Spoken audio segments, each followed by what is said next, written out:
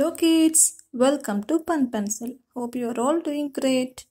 Today we are doing one interesting activity. What is that activity? Before that, if you are new to this channel, please like, share and subscribe. Also hit on bell icon to get notifications when new videos. Now let us know what we are doing. Okay, what is this? This is a puzzle. Puzzle. It's a DIY puzzle. So you can also do it at your homes. Okay do you know how did we do this puzzle?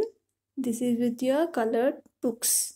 I think it's you all will be having colored books at your homes, isn't it? So what were you doing with those colored books after using them? Now you can make out of it a very good puzzle. It's an interesting activity. How many of you like puzzles? Come on, tell me. Okay, so what we are doing now Take a paper from the colored book and tear one paper with the help of your mom. And now cut it into equal sizes. Okay. Now what you are going to do after cutting you have to shuffle it however you want.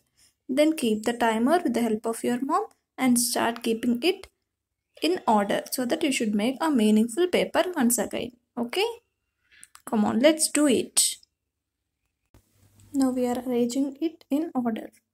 See, where should we keep this one? With the help of clues, we have to arrange it. See, we can see one banana. We can also see few letters. With the help of them, we can arrange them in order. Those we have to take as glue. Okay? Yeah, now our banana is ready. Next, we have to make other fruits also meaningful. Okay? So, we have to arrange them according to their colors.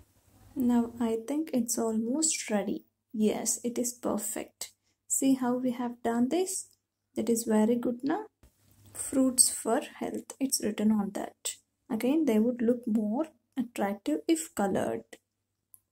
With that, we have arranged it perfectly, isn't it? And we have also few fruits here. What are those? Apple, pear, banana. Daily you should eat fruits. Okay. Fruits are good for your health. Okay, kids? Hope you have enjoyed this video and I think if you feel this video is helpful, please like, share and subscribe. Also hit on the bell icon to get notifications for new videos.